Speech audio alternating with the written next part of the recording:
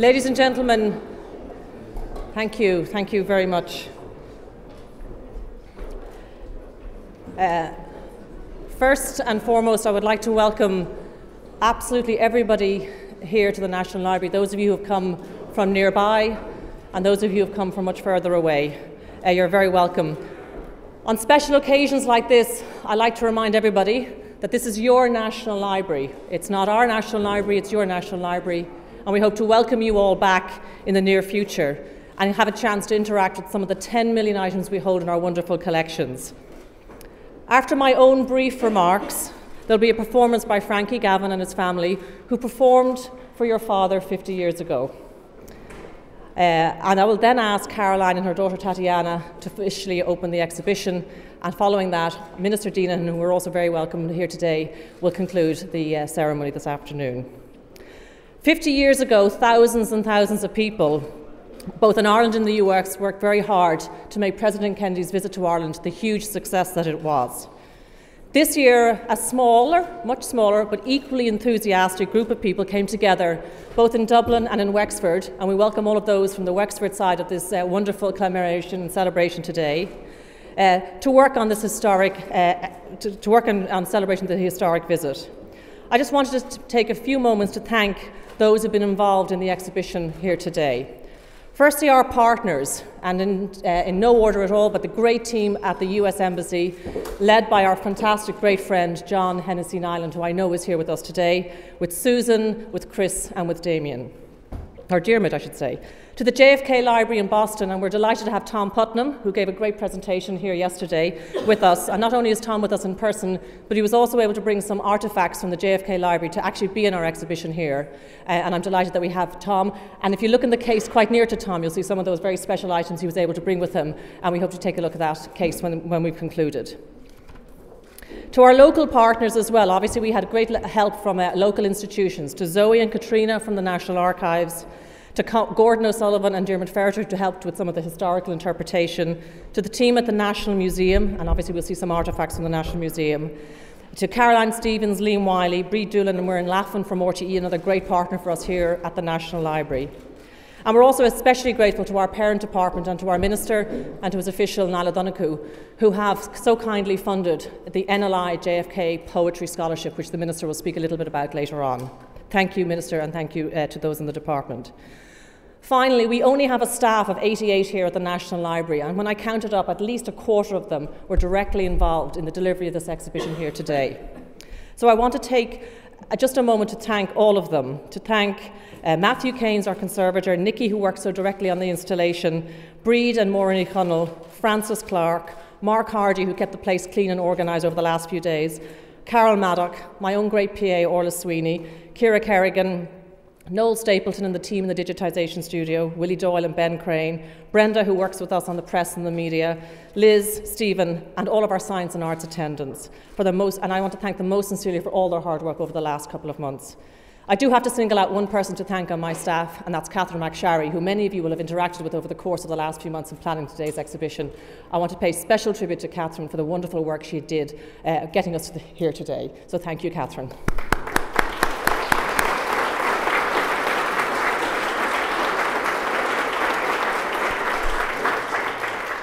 And now I will pass to Frankie, who can reprise what he did when he was six years of age with the members of his family, who I think were uh, seven and eight at the time. So, again, it's a revival tour, I think, for, for Frankie and his family, who will play now uh, for you, and then we'll pass on. Frankie, over to you. Well, first of all, it's so extraordinary honor to be here on, this special uh, occasion, and uh, we have the honour of playing. Very, very small children. I the children later on. Uh, we're the children play on that very day. Tune called Boys of Wexford which is a nice march. We're going to play that and then we're going to follow by a nice swift Irish read. So we hope you enjoy this tune. Thanks for having us here.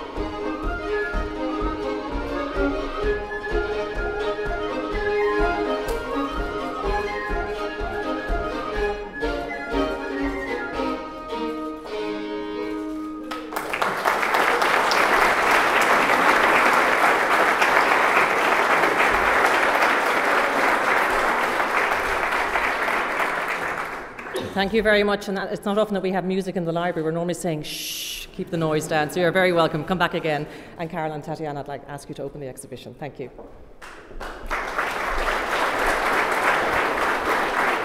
Thank you so much. Uh, good afternoon. Thank you, Fiona. Thank you all for welcoming us here. Uh, it's wonderful to see how libraries are becoming centers of community uh, and bringing us all together, just as they always have. Um, there are many members of my family here. I'd like to recognize my aunt, Ambassador Jean Kennedy Smith, who uh, was with my father 50 years ago. And uh, my cousin Kathleen Kennedy Townsend is here, and my cousin uh, Congressman Patrick Kennedy is here, and I'm sure there's others, but um, anyways, all of us are thrilled to be here, and we've tried to send a representative group uh, over to Ireland um, here with my three children. Uh, and I think all of us are incredibly grateful um, to the um, National Library for this exhibition, um, and, uh, and I speak here also on behalf of the John F. Kennedy Presidential Library Museum uh, with our director, uh, Tom Putnam. Um, and I know that all people in the embassy and Ambassador Collins have worked so hard to make this celebration possible. Um, I also want to thank the people of Ireland for their generosity to the Kennedy Library uh, which has helped make it possible for us to digitize President Kennedy's papers so that um, you no longer have to visit Boston, but they're accessible worldwide. Um, and we've created, thanks to you, an Irish Heritage Collection, uh, which is available to scholars and students and researchers who study the source of my father's inspiration and seek to find inspiration of their own. Uh, my father was a student of history, and he would be proud that he has become a part of Ireland's history as well as of America's. He also always looked to the future, confident that young generations would dedicate themselves to solving the challenges of their time just as he had. In keeping with his belief that the best is yet to come, I'd like to introduce now my daughter Tatiana to say a few words.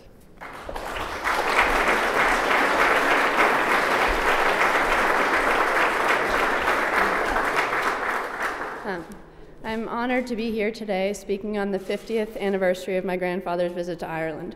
I'm especially humbled to be paying tribute to his trip at your National Library. I know he and really my entire family owe a lot to our Irish heritage our good looks, our humor, our intelligence, and of course, our humility. I can only imagine how proud he would be to see the cooperation between this library and his presidential library in Boston, his home and home to so many Irish and their descendants. Thank you to the U.S. Embassy here in Dublin, as well as the National Archives and the Irish Broadcasting Company, RTE, for making this possible. I especially want to thank Minister Jimmy Deenihan, Director Fiona Ross, Catherine McSharry, and all of you for having us here. Thank you also to John Hennessey-Niland from the U.S. Embassy and Tom Putnam from the JFK Library for making this all happen. I think President Kennedy would be so pleased by this exhibit, in part because it teaches us all about the history of his visit, but more so because it presents an interesting interaction between memory and the future memories of his visit on both sides of the Atlantic, and a future promise of cooperation and collaboration between this country and his own. The online portion of this exhibit deftly illustrates what his trip has meant in both of our homes over the last 50 years. And continuing in that tradition he began, it carries on his hope for a new era in which our two countries have a sense of their shared future as well as a common past. My grandfather lives in my imagination mostly in his words, as I imagine he does for many of those who never knew him. He is, in a quintessentially Irish way, deeply, um, sorry, he, in a quintessentially Irish way, deeply understood the power of words to inspire and educate, and his vast knowledge of literature and history makes me appreciate how fitting it is that we are honoring his legacy at the National Library of this country he loved. But he also lives on in the words of those he admired, many of which were written on this very island, a place blessed as much by its natural beauty as it is by the Irish themselves.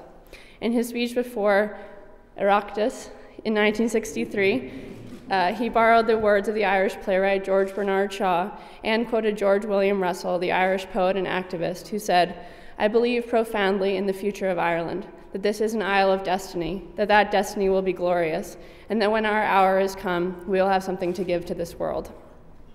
He recognized then, as I do now, that he was visiting a country whose sons and daughters can count some of the world's best poetry, prose, and drama among the many gifts they have given the world. It is particularly humbling to think that I am speaking at the National Library in the island home of W.B. Yeats, James Joyce, Oscar Wilde, Samuel Beckett, Seamus Heaney, and Sean O'Casey, among so many others. Your mother Eire is always young, dew ever shining in twilight gray, wrote Yeats. To some, it may seem unbelievable that such a small island can boast so much genius. Those people, however, have never had the privilege of visiting this place, and they are certainly not Irish. Ireland gave its writers endless inspiration from her natural beauty, which was matched by the imagination, creativity, and talent that all Irish carry within them. It is these talents that have allowed generation after generation, wherever they may live now, to make art from Ireland's struggle. Fifty years ago, as President Kennedy looked forward to Ireland's future and acknowledged its brave history, he knew that Ireland could and would give more to the world than it had been allowed to do in the past. He saw that Ireland had sent her people to every foreign shore to seek a better life. The millions of Irish who made their home in America, who built so much of America's infrastructure, who enriched its cities, and who fought its ethnic prejudice, are a shining example of Ireland's influence on the world. Their example taught my grandfather and countless other Irish Americans lessons in strength and resilience. Both the courage of his Irish ancestors and the opportunities in America made it possible for him to be president and for me to be standing here today. He also knew that Ireland is the home of the Irish, a courageous and self reliant people, which meant his future would only grow brighter as it has. I know he would have applauded Ireland's new position as a place where immigrants from all over the world can thrive. Speaking to the Irish, but intending the message to be heard far beyond its island shores, he said, Let them remember the constancy, the faith, the endurance, and the final success of the Irish. And that is exactly what we are doing here today. I'm so happy to be able to stand here with my family and all of you and honor my grandfather in the capital city of the island nation where his story and all of our stories began. Thank you very much.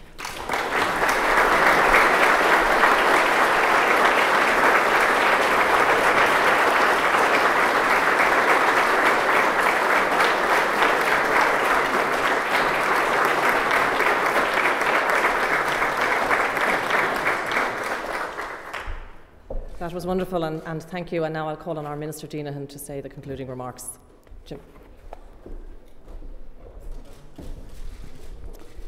Uh, thank you, uh, Director, Caroline, Edwin, your family, Tatiana, uh, Rose, and Jack, uh, Jean, members of the Kennedy family, members of the Diplomatic Corps, members of the Oireachtas, ladies and gentlemen.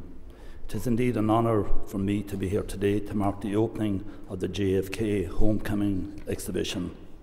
This exhibition and a range of other events which are taking place this month have all been organised to coincide with the 50th anniversary of the visit of the US President John F. Kennedy to Ireland. This visit left an indelible mark on Ireland and still remains in the consciousness of those who were there to experience it. In 1963, we were a young republic. John F. Kennedy was a young president. And because of his background, his family, and his ancestry, the Irish people felt the strongest possible affinity with and warmth for President Kennedy, then a leader amongst leaders on the international stage. The impact of the Kennedy visit to Ireland was seismic. To put it very simply, President Kennedy was both loved and respected by the people of Ireland. Because of the affinity that the people of Ireland felt for John F. Kennedy, they had cheered him to the White House in 1961. Two years later, they cheered him wherever he went in Ireland. John F. Kennedy's election as president in 1961 was a seminal moment, too, in the history of Irish America. To many within that community, he represented all that they could become and gave them hope for the future. He made them proud to be part of the Irish American community. It was as if the Irish had finally made it in America after years of struggle. He changed the image of the Irish in America. From then on, being Irish was a badge of pride and his achievement made people feel equally proud of being both Irish and American. By 1963, Ireland had experienced tremendous turmoil in the short history, as first a free state and then a republic. The decade before the visit had seen Ireland lose a generation through immigration. Half a million people had left Ireland over the course of the 1950s. The people who came out to cheer President Kennedy in their thousands had sons and daughters, brothers and sisters spread across the globe, especially in America. They welcomed President Kennedy like a returning son.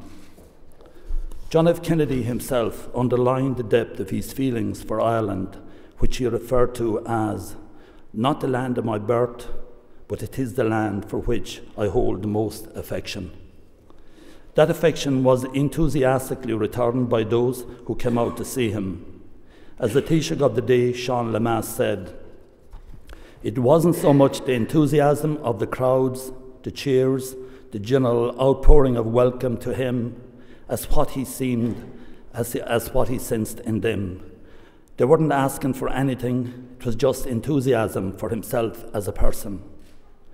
Today, over 70 million people worldwide claim Irish ancestry. Many of them reside in the United States. The 80,000 people who lined the streets of Dublin to welcome President Kennedy in 1963 were echoing this link. They were also remembering all those who had departed from these shores and who had never forgotten their links to home. Indeed, in his address to the joint houses of the Oireachtas, President Kennedy said, and I quote, And so it is that our two nations, divided by distance, have been united by history. No people ever believed more deeply in the cause of Irish freedom than the people of the United States. And no country contributed more to building my own country than your sons and daughters. End quote. President, President Kennedy also noted Ireland's growing place on the international stage in his address. And I quote From Cork to the Congo, from Galway to the Gaza Strip, from this legislative assembly to the United Nations, Ireland is sending its most talented men to do the world's most important work, the work of peace. In a sense, this export of talent is in keeping with an historic Irish role. But you no longer go on as exiles and immigrants, but, from, but for the service of your country and indeed of all men. In quote. President Kennedy's visit, therefore, came at a time when Ireland was growing in confidence as an independent republic it also marked a key point in the developing cultural and political ties between the then relatively young Republic of Ireland and the United States. These are ties which have grown over the years, and indeed the ties between Ireland and the Kennedy family have remained particularly strong. His sister, Jean Kennedy Smith, served as US ambassador to Ireland from 1993 to 1998, and her supportive role in the Good Friday Agreement and in the peace process should be acknowledged here this afternoon.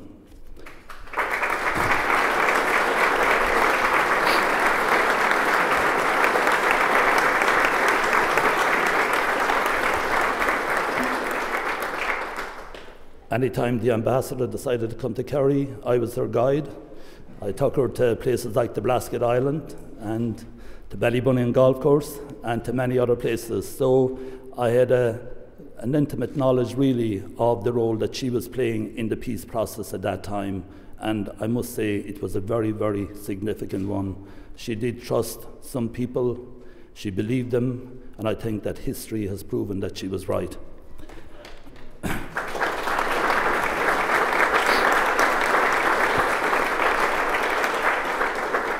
Her brother Ted Kennedy, who served in the United States Senate for almost 47 years, was a long-time friend of Ireland and also played a key role in the peace process.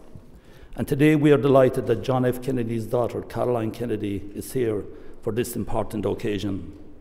I have a very vivid recollection of President Kennedy's visit and the national sense of pride and joy that it fostered. That visit instilled a new confidence in an Ireland trying to find its way in the Cold War world of the early 60s. It was undoubtedly a great boost to Irish self esteem and to national morale at that time. One of my abiding memories from the visit was the address by the Mayor of Limerick, Frances Condell. At the time in Ireland, few women were in positions of political power. It was important for many people to hear Mayor Condell welcome the President in the articulate, humorous, and moving way that she did. John F. Kennedy described her address as, and I quote, the best speech that he had heard since coming to Europe. The role that she played and the speech that she made struck a chord with me and with many people and stayed with me ever since. President Kennedy was a visionary in many things. He was a staunch supporter of the space, space program. This sowed the seeds of many of the new technologies that have been developed since and that we use in our daily lives. And even 50 years ago, he could clearly see the serious issues that related to inactivity resulting in obesity and overweight, and that what this would cause for the health of both America and the world. As an aspiring athlete back then with a keen interest in all sports, President Kennedy's clear concern about fitness resonated with me. This he set out to challenge through the President's Council on Physical Fitness. But it is, it is his vision for the arts that I want to particularly refer to today. President Kennedy's love of the arts shone in his presidency and indeed in his speeches before entering the White House. In his oft quoted Harvard address in 1956, he said, and I quote, If more politicians knew poetry and more poets knew politics, I am convinced the world would be a better place in which to live. He went on to utter some of the most visionary words ever said by a politician about the arts words that resonate to this day. And I quote The highest duty of the writer, the composer, the artist is to remain true to himself and to let the chips fall where they may. In serving his vision of the truth, the artist best serves his nation. And a nation which disdains the mission of art invites the fate of Robert Frost Hardman, the fate of having, and I quote, nothing to look backward to with pride, and nothing to look forward to with hope. It is therefore with immense pleasure on the occasion of this exhibition and in the presence of our honoured guest Caroline and her family that I wish to inaugurate the John F. Kennedy National Library of Ireland Poetry Scholarship. Under this scheme, scholarships in poetry will be awarded to young students each year. With the comments that John F. Kennedy made about poetry and the arts during the time as president, I can think of no better way to mark the important occasion than through this scholarship programme. And now, in closing, I would like to make a presentation to Caroline. I quoted earlier the famous comment that President Kennedy made when he referred to Ireland as not the land of my birth, uh, but it is the land for which I hold the most affection. Of the millions who left our shores over the centuries, the Kennedy family is certainly one of the most famous and more loved of all. Ireland took great pride in John F. Kennedy, and we continue to take great pride in the many achievements of the Kennedy family, including the recent election to Congress of Joe Kennedy. Today, to mark the 50th anniversary of the visit to Ireland by her father, I'm delighted to pre- present Caroline Kennedy with a special edition of the Certificate of Irish Heritage. John F. Kennedy described his visit to Ireland as the happiest days of his life. I hope for you, Caroline, and for Tatian, and for Rose and Jack, that this will be one of the most important occasions of your life, and the next four days will be the happiest days of your life. So, ladies and gentlemen, thank you all for being here for this really very special occasion to show true gratitude to the Kennedy family for what they have achieved for Irish America, but what they have done for this country as well. And we're all very proud of you, and it's great just to be part of this great occasion. So thank you very much. Thank you.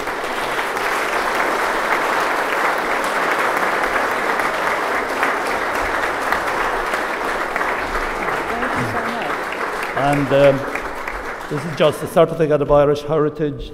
It's from the Kennedy side but also we have a certificate from the Fitzgerald side as well. Thank you so much.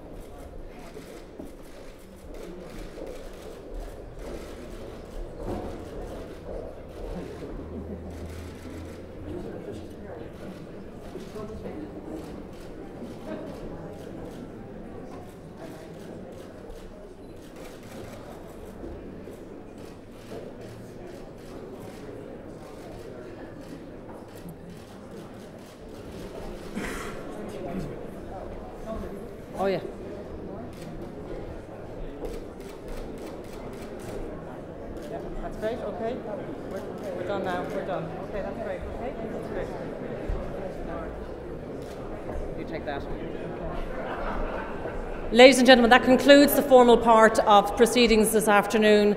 Thank you so much for coming. Uh, thank you all. Please stay around and see the exhibition. And uh, thank you, Minister. Thank you to the family. Thank you.